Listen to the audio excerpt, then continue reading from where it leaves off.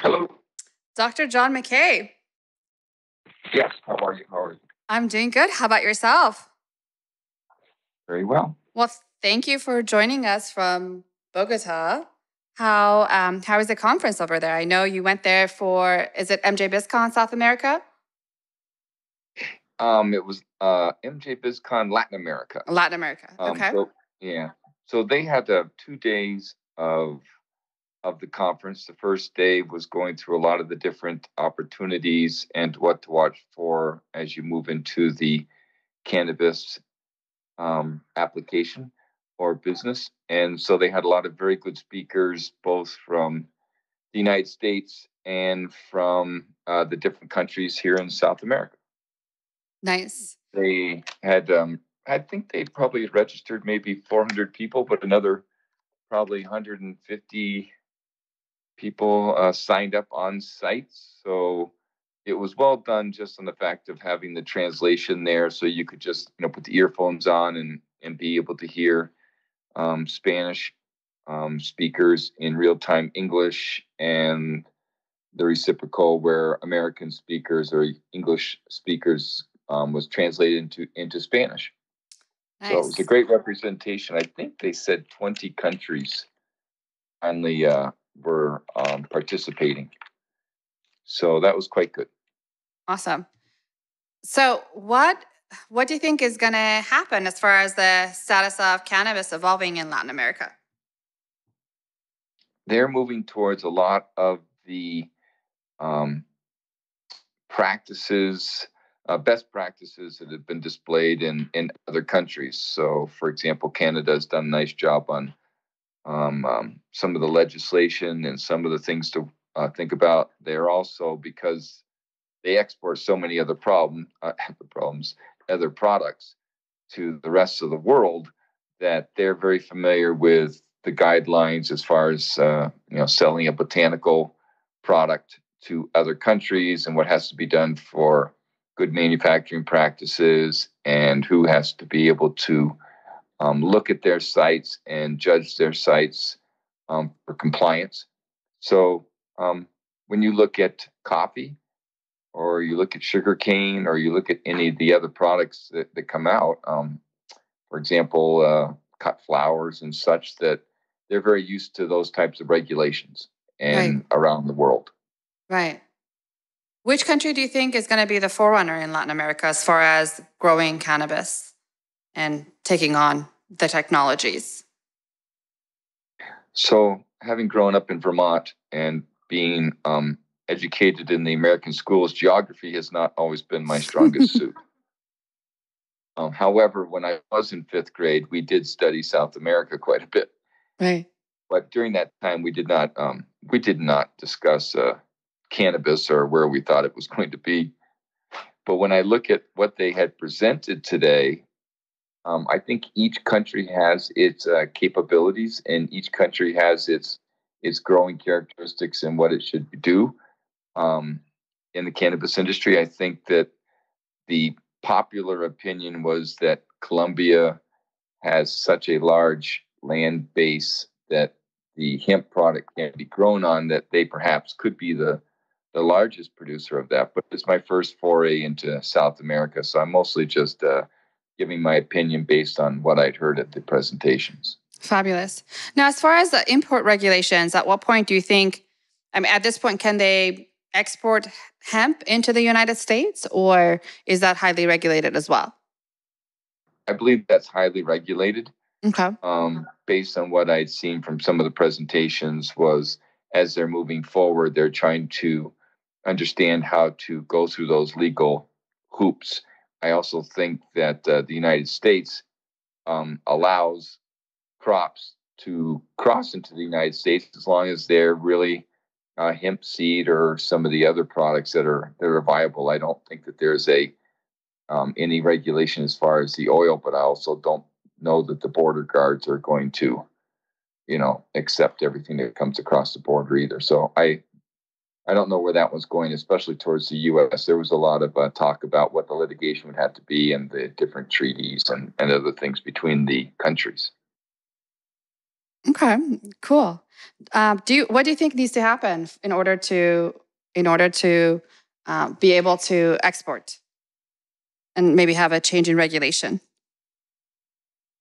I think on the United States side, it's not going to happen until it's completely federally legal on on the hemp side, or the the other part is can they classify different parts of the hemp plant so that hempcrete or material that might be crossed across the border to make hempcrete were separated from hemp seed, which is also a viable product um, as a protein. You can buy it anywhere. It's just hemp seed. It's a very uh, protein rich product, and so I think that um, until there's until there's full regulation, I think that you're going to be a, more of a segmentation. Okay, awesome. Well, Dr. MacKay, thank you for all that additional information. Of course, this was uh, nice and extra, so thank you for reporting uh, in real time from Bogota. Appreciate it.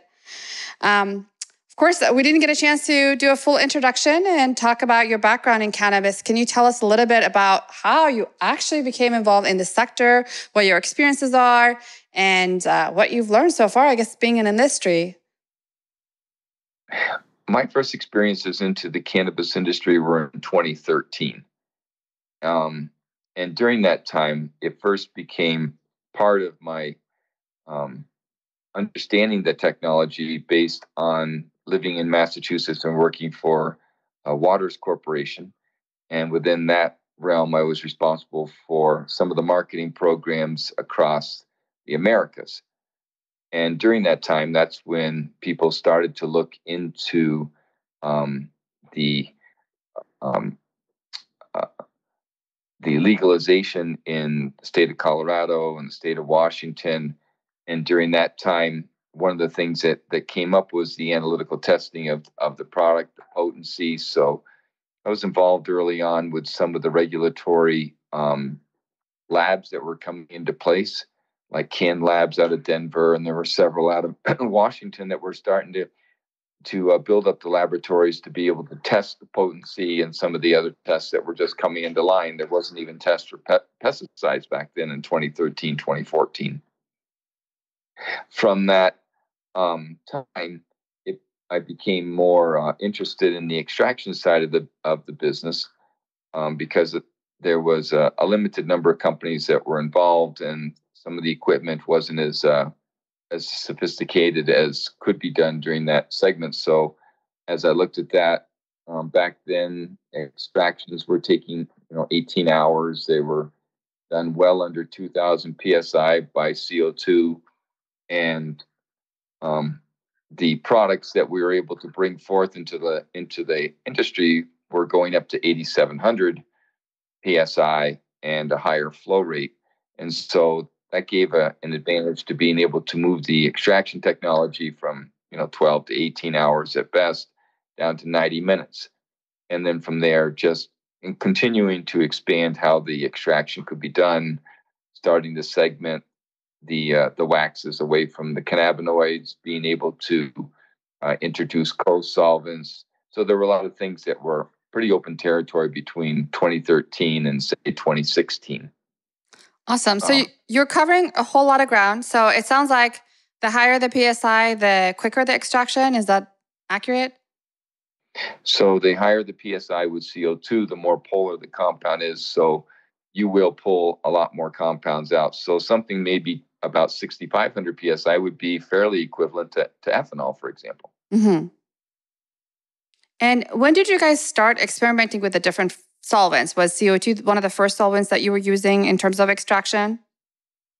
Yeah, so back in that time, there was very little ethanol actually, and there was some of the uh, hydrocarbons, the gaseous hydrocarbons, and some of the liquid hydrocarbons like hexane and so there was a limited number of solvents because there was also a limited number of states that were doing anything and a limited number of the amount of crop that could be done. So back then in 2014 or so, it was still something that would be as small as a five liter vessel would have been more than enough uh, extraction capability for a company. And so from that time, the state started to grow, people started to grow more material, more licenses given out and therefore the product started to expand as far as uh, the size and number and the number of people that were getting into the business. Okay. So I guess a more fundamental question why extraction even? Why not people just, you know, buy the flower, smoke the flower, the good old hash brownies of the yesteryear? Why foray into these complex chemical, uh, I guess, processes? I think it's sort of, uh, I'm going to say similar to the natural products industry, as well as uh, when you start to look at um, the pharmaceutical side of the business. So in pharmaceutical, usually a a, a, first uh, rendition of a of a medicine might be a tablet, and then it might be a long lasting tablet, and then it might be a capsule, and then it might be a suppository, and then it might be um, different liquids for for children. And so I think what's happened is a natural expansion of the of the customer wanting a different formulation that they would be able to either um, just more discreetly um, ingest or something that is more amenable to their um, their preferred route. So um, people, you, you start to look at the vitamins. When vitamins first came out as gummy bears, it was, in my mind, a little bit horrific. But I, I do know that it, it, it was easier for children to take a gummy bear. You just want to make sure that they didn't think it was really a candy. Um, the same thing happens with the cannabis. That if you're having you know the age group of people who were not wanting to bring smoke into their lungs for whatever reason then they were more amenable to having a an edible for example a chocolate or a gummy bear or a tincture into their tongue where it was more acceptable and more discreet for them. So i think the formulation um, have have expanded the way everything else is expanded with more adaptables to what a person is used to taking or what they're more familiar or more comfortable. Okay so it's basically to accommodate consumer preferences and potentially to provide a specific um, medicinal benefit to the consumer. Is that pretty fair assumption? Yeah, I think my 30 minute, my 30 second uh, or minute explanation was better done by your your five second review. Highly doubt it. So, when you're doing extraction, what are the things that you're trying to get out of the cannabis plants? Is it only cannabinoids or are there other compounds that are beneficial? So, a good question. And I'm asked it a lot. And the second one that I'm also asked as a follow up on that one is what's the best extraction? And today at the seminar, people were asking about the future of extraction. And I, I say the future of extraction is you start out with the formulation that you're going to make. Is it a tincture? Is it a gummy bear? Is it a uh, smokable? Is it a is it a, um, a suppository? Each one of those is going to have a different characteristics and ingredients that it's going to need to have in it. And then you back up from that to what are the ingredients that I need to have in that product and ingredients I don't want to have in that product. And then you back up to there to how can I get those ingredients out of a plant? The cannabis plant has uh, several, it has more than several, has 500 different compounds in it. And so when you look at that, it's it's getting the compounds that you want into a certain ingredient. So the the art form of extraction is to is to best. So B should stand for botanical integrity making sure that what you want out of the plant you're getting. So some people are going to want to have the terpenes. They're going to have the different flavonoids along with the with the cannabinoids themselves. The second one is efficient extraction. So you're going to want to have the extraction that's full of efficacy. So you want to make sure you're not introducing something into a product that that you're not wanting to have in its final ingredient. And then S is for safety and safety from the instrumentation and from the people, you know, gathering the crop so there's good agricultural practices. You know do you have the right clothing on? Um, everything is more on the safety side even with osha. And then the other one you have is t is for for testing with with um, modern equipment. So when you're looking at the number of people that are trying to get products out of the cannabis plant they become more and more uh, variable. And they're wanting more that they can have so that they can in the final formulation limit to the ones that they want to have in there. Okay. So we hear a lot about the entourage effect and we hear about terpenes. What do they mean? Is it important to have the entourage effect? What are your thoughts? So, for me, um, on the thoughts side, there's enough scientific data with metadata as well as more um, work that's been done in clinical trials that have demonstrated that a pure compound, no matter what it is, doesn't have the same effect on bioavailability and bioactivity as the number of com- as other compounds that would be joined in there. What the research hasn't showed, and continues not to show, and that was which ones are there. So if you can't figure out which ones are really the, the major contributors or helping with the entourage effect, then you get as many in there that aren't going to do any harm to you. At the same time, could provide the uh, capability for for having a greater bioactivity. Um, I was at the CannMed conference last week in Pasadena, California, and that's where a lot of the medical doctors were demonstrating some of the work they'd done, as as well as Dr. Mechoulam, going back through and showing some of his new compounds that had, he had had.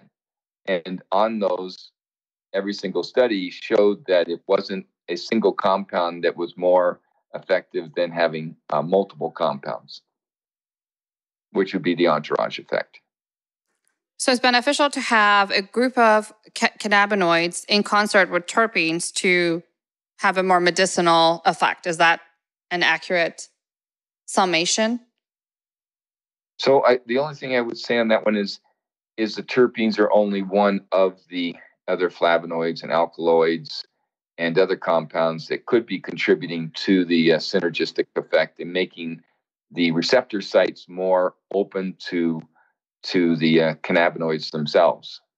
So it could be a combination of other things just besides the uh, the terpenes. The terpenes on the other side, even though they may not have an effect on that receptor, they might have effect on other receptors that now you have this co you know co-experience where cannabinoids may be doing something for the anti-inflammatory or for seizures and meanwhile limonene or alpha beta pinene are giving you a, a different um, experience where you're more you know more lightened you're more um, aware because the terpenes on their own have their own effect. So you could have not only an entourage effect of, of the effect of the, the cannabinoids on the uh, cb1 and cb2 sites but you may be having co-experiences with the uh, with the other terpenes or other compounds and other receptors.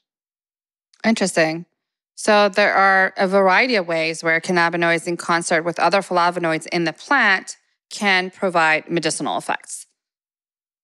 Yes, and I think that's proven out by the enormous amount of work that's been done on aromatherapy, um, where you're just looking at a number of different compounds that, that do provide an experience, and the body also has some healing effect um, from those.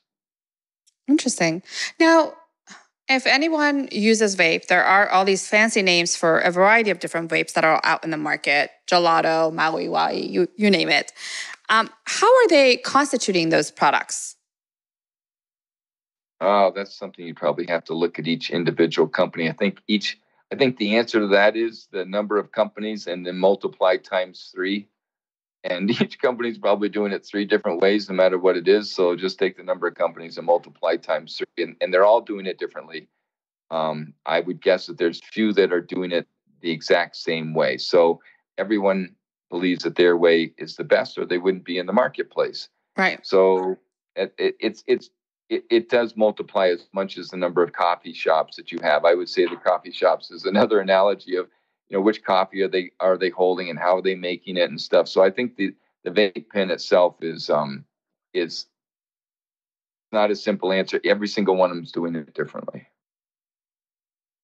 So how are they getting the standardization the standardization in a lot of these formulations? Obviously you know two vapes that are named the same exact name with the same company have the same exact constituents so, how are they getting this consistency? Obviously, the plant doesn't provide the same exact level of cannabinoids and terpenes in each batch.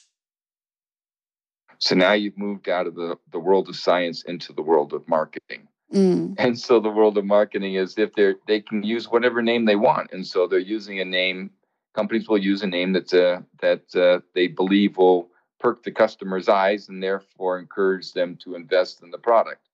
So you know it it will be the same exact um, the same problem. It really it really does move out of the science into the into the marketing. So there's no way to do the standardization. If someone wants to call it something, you know, hokey pokey yellow, then and hokey pokey yellow seems to be matching what people want, then someone else will name it hokey pokey yellow, which I, I I'm guessing I shouldn't trademark. I don't know if that will be very popular, but let's say if we have Hokey Pokey Yellow and um, you know, we have a first batch of marijuana plants that we process into this hokey pokey yellow, but the second batch, let's say, may have less cannabinoids or less terpenes. How do we make sure that the consumer has a consistent experience? That goes, that really does go to the marketing. So on that side, there's there a company should be responsible for their own product having that. So when they go back through it, it's um it's the same thing as as cooking or any other product, but we'll stick with cooking. So if I have a, a way of I'm making the same yellow cake and I have so many eggs, I have so many flours I have so much of all the other components. Um, I like to use analogies. So if you do that and you add all the components together, and then you say to yourself, "Oh, I didn't turn on the oven," and so now you have to wait another 15 minutes for it to go to 350 degrees Meanwhile, the cake batter that you had already put together is now already starting to brew. And so you're going to start to see bubbles on the top of the cake. So even though you have the same ingredients and you believe you have the same SOP, you didn't immediately put the cake into the oven at the same time. So now you have two yellow cakes, one that's very smooth and and uh, and uh, moist, and the other one has holes on it because it's already started to to work through the gaseous phase. And the same thing can happen with hokey pokey yellow. That if I mix up the the timing, or I mix up um, uh, the temperature or the size of the vessel, then each one of those can can be impacted to the final product. But let's say the first batch of the hokey pokey yellows had 15% in cannabinoids and a variety of terpenes that were completely different than the second batch. Let's say the second batch had 12% in cannabinoids and completely different terpene profile. Is there any way to fix that in order to make sure that the final product feels and provides a similar experience to the consumer?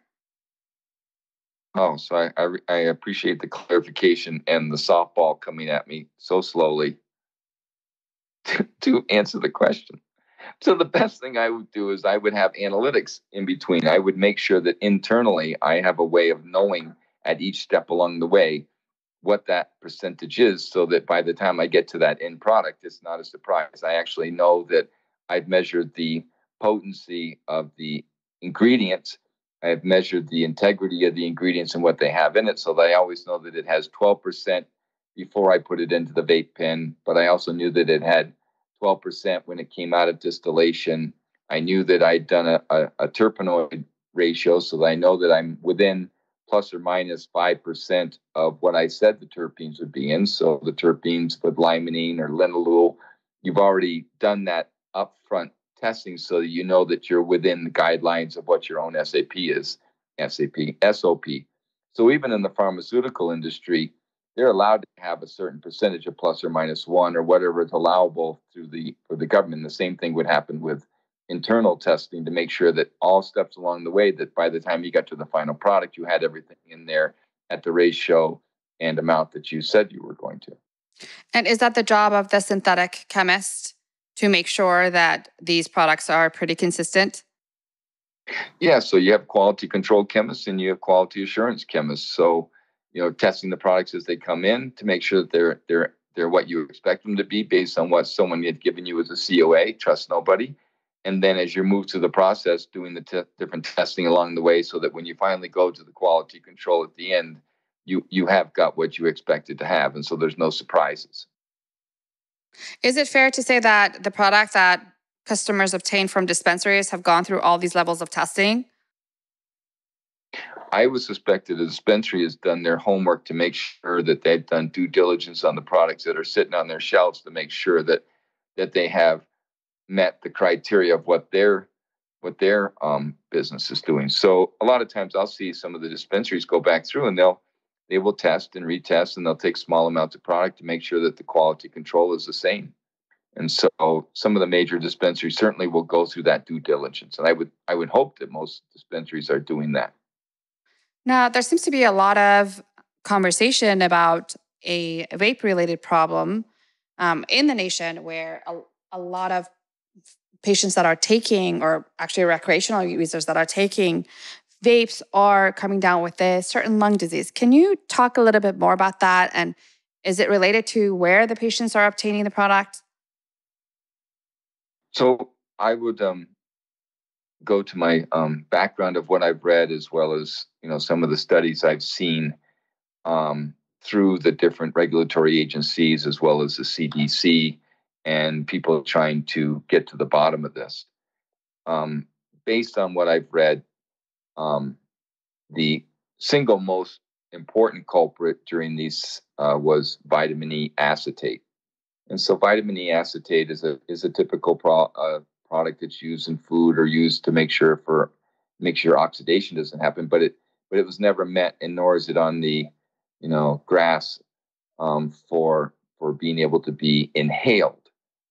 And so the process that happens when we as humans breathe, we breathe through a through our lungs, and in our lungs we have alveoli, and on the on on the layer of the alveoli is a is other substances that allows the oxygen to pass from the lung into our bloodstream and then carried off so that we can um, live. And what happens with some of the work that I've seen with the vitamin E acetate is it disrupts that interface. And therefore, the oxygen cannot get from the lung into the body.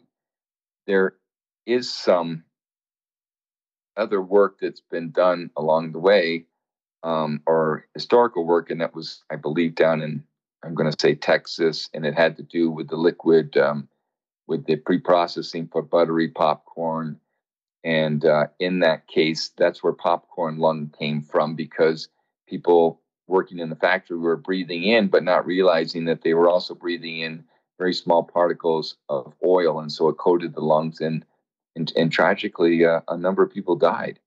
And then they went back through to find out about that. So this is something similar where people have added a, a, a, a product into something that wasn't meant to be inhaled. I had also talked with other people. Um, so I'll do anecdotal versus typical peer reviewed. And that was when you're looking at a vape pen that was made outside of the regulatory market and you were wanting to see how good that THC potency was, is that you could take a vape pen and you could, you know, put it in a vertical position and then flip it 180 degrees, and then you would see how fast the bubble moved through. And the slower the bubble moved through was anecdotally would be how you how good you thought that oil was. Mm. And so some people would add vitamin E acetate to as a thickening so that it would you would perceive that the bubble was moving as slowly as a high THC oil might be even though it wasn't. Is that the same thing as Honey Cut? Is what? Honey Cut? Heard that I name? not know. Okay. I've heard um, that name used particularly in the black market as a thickening agent. So. Okay, let's see. Um, as far as extraction, obviously, it, do you have a preferred method of extraction, and does it really make a difference what solvent is used? So the quick answer is I have no preferred um, go-to extraction uh, method because I, I really do go back to the formulation and wanted to know what ingredients are needed and what the final formulation was going to be. So if you have room temperature ethanol, you're going to get a lot of compounds. And if you have cold ethanol at minus 40 or minus 60 or minus 80 degrees, you're going to have less compounds. And so on my side, I look at it for speed, selectivity, and scalability. And so when you're looking at each one of those, you're trying to figure out um, which one is most important, but you only get two. You can't have all three of speed, scalability, and selectivity. Hmm. So I, I bring it away from the cannabis to bring it to another analogy that's closer to people that help them understand what the cannabis is doing. You wake up in the morning and you want to have coffee. And a lot of people say they have coffee because they want to be awake. Well, that's just caffeine. That's the major part is caffeine. So if you just wanted caffeine, then you would just take NoDoz or take a, a, a caffeine pill. But a lot of people like the experience of the coffee. So when I wake up in the morning and I want to have coffee, the best way to get caffeine and all the other flavors out of a coffee bean is methanol, acetonitrile, or acetone, hexane. There's a lot of different ways to do that but I didn't choose any of those solvents because my final formulation I was going to put into my body, and those are all poisons to my Right. body. Yeah. And it won't So taste that great water. either. No, and I don't want to taste that. So if you use ethanol, you're awake, but you, don't know exa- exactly where you are by 8 a.m. so what you want to do on the preferred side is there's also a difference between cold brew coffee and hot brew coffee. And the cold brew coffee has about a thousand compounds that come out, but not the bitter acids. But remembering cold brew coffee takes you 10 hours to make. And if you want coffee in the morning and you start the cold brew coffee at 7 a.m., you know, you've got to wait till 5 p.m. to get that first cup of coffee. That may not meet your criteria for what you were trying to hope for. For speed, yeah. But if you want to do cold brew coffee because you liked it, then you would make it the night before and just and just let it sit the 10 hours and you started at 8 8 p.m. so that it would be ready at at 7 a.m.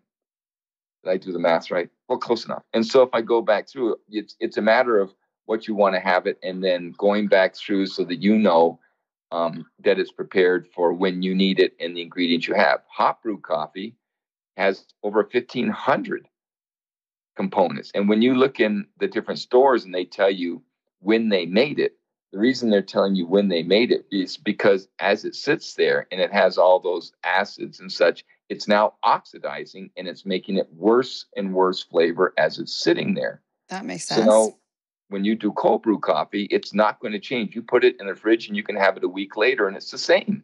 Why is that? Because didn't- didn't have the acids. interesting. Okay. Is water extraction possible with the cannabis plant? It's called water hash. So yes, the quick answer is yes. The longer answer is you can also do that with water and then having a high shearing force so that you have you're using the water as a media. So if you were to have something where you had the cannabis plant in there and you had a, a motor that was spinning around fast enough to cut up the, the plant material, it's also going to open up all the trichomes and all the material is going to fall out like opening up an egg. And then from there, it's a matter of separating the oil from the water because the cannabinoids aren't water soluble. And so now you would typically go through centrifuges or some other way to reduce the water. And so you can do it by water, certainly. Um, remembering that uh, ice hash is water still because it's frozen water. It's a solid water, but it's still water. And what is rosin? Huh? Or rosa? Either either way, so there's a lot of different ways of making. Again, another solventless way of doing it. So whether people are making rosin through uh, pressure or they're making it through other means, it's it's it is more of something that you're actually squeezing the plant more, and therefore it, you're popping open the the trichomes, and therefore the contents are are spilling out. So it's uh, I I've totally lost an analogy other than the fact that taking an iron and pressing it down, it will squeeze everything out. And so uh, rosin is more towards towards that side of the equation. So it's a good it's a good product. There's other ways of making rosin. There's probably a lot of ways, but the most common way is is just making sure you have the oil, much like you would have rosin for your um for the batters of the pitchers or for your string instrument. There's a lot of things that that move into the rosin world. Essentially, it's like a cold pressed olive oil, right? It's completely mechanically pressed and you're getting all the good stuff without any solvent. You're doing it solventless. That's Solventless. correct. Okay. Remembering that the that the plant probably has some moisture in it, so you get a little bit of water, but yes. Okay. Now, um, obviously, a variety of solvents are used, CO2 versus hexane. Is there any residual solvent left? Because I know a lot of people do prefer the CO2 extraction, but is there a specific reason for it? the specific the difference between hexane and CO2 isn't that isn't that much. They're very close in, in polarity. They're both non-polar. Um, hexane has it's called a hydrocarbon for a reason. It only has carbon and hydrogen, and CO2 has carbon and two oxygens. And so the reason that it's more or less nonpolar is that the oxygens are are 180 degrees away from each other, about 180 degrees away from each other in the carbon. So it, it acts like it's nonpolar, even though it has oxygen on it. The nice part about CO2 is as you add pressure and the comp and the molecules come closer and closer together, it becomes a supercritical fluid. And an unfortunate name, but that's the name of it. Some people used to call it dense CO2. And so when you do that, it now, as you gain more pressure, it it becomes more and more polar and it becomes more and more soluble. The reason people like to use CO2 is because it can get into the plant cell much more easily and it moves freely about. So it's it's a it's a combination of a gas and a liquid. And so it acts like a gas sometimes, it acts like a liquid sometimes. And so that's the, the power of CO2. With CO2, you hypothetically shouldn't get any solvent, but one of the things that you still have to think about is there's the plant still has some solvent. So if you have 5% moisture, then then you have 5% water in there. The plant also on its own right is a living plant. So depending on how old the plant is, the plant still could have acetone in it because it's a, a living plant. There still could be some acetone. So there's other things that could be coming as a contribution to the CO2 that the plant brings with it versus the CO2. Hexane is going to be the same way. Hexane is going to pick up anything that's that's a, a nonpolar, like dissolves like, and so it might drag stuff out of a out of a inside of a tube, or they might drag some out. So either one of those. The, the key is looking for the residual solvent, whether it's hexane or or the other solvents, and so the biggest part is boiling off anything that, that could be or evaporating them off. So both are fine. But CO2 does have that reputation, if done correctly with the right plant, that it shouldn't have any solvent residual. It should go back into the atmosphere. And with hexane, if it's done correctly, is there any residual solvent left in the final product? No. And is that something that is tested for? Yes. Okay. So basically, if you're getting a tested product, you're getting a clean product. That's pretty much the moral of the story. It is the moral of the story no matter what solvent you use, whether it's 134A, which is tetrafluoroethane, ethanol, a mixture of ethanol and water. It doesn't matter what the acetone, it doesn't matter what they are. The basic part is to be able to move and and have the residual solvent gone. Some of the things that make it that you can start to make a choice is is if you're having ethanol and you're wanting all the ethanol to be gone and you're having to heat it and you don't have it under pressure, then then any of the volatiles are also going to be gone. So you're getting rid of the ethanol, but you you also have to get rid of, of all the other compounds. Okay. Well, I think that was a very good analysis of how extraction is done. Is there anything you wanted to add? I think that the biggest um, opportunity in today's cannabis world is the continuing um, education of the investors, of the consumers, and the continuing advance of science outside of you know bias. And I think that I'm seeing more of these different conventions that the investors are are realizing that that they're not taking anybody's advice on their own. They realize that that they have to they have to do their own due diligence. They have to be responsible humans. I think the other part too is that people's ideas of being uh, billionaires and everyone's going to be a, a, millionaire based on this has also been more tempered by by the more current uh, round of investors. So if I was to say anything that would be additional, and that was we seem to be in like the fourth phase of this of this natural product. I think the other part of this is that people are now understanding that this is not the only natural product on the planet. Um, and so they're moving more towards what other products can have things, which has been very well known for pharmacognosy and um, ethnobotany for a long time. So I think that I think the market's moving closer. I don't know that that um, that uh, the federal government in the United States is going to quickly move towards legalization without some regulation. And I think that uh, I think that more and more of the young scientists are moving out of their traditional pharmaceutical roles and moving into the into the cannabis roles because they understand the pluses and minuses of the pharmaceutical products that they were making or selling or providing support for and then realizing that there's other things that can be done also and it's like it, it it's it's encouraging their curiosity and their involvement in uh, pharmacognosy again. Fabulous and i think programs like this one are, are also good because now it's something that people can listen to and and they can whether it's interesting or not interesting at least it can be controversial. Hopefully interesting. Well thank you so much for joining us all the way from colombia. Uh, enjoy the rest of your conference and we'll speak soon. Thank you so much. Thank you. Good night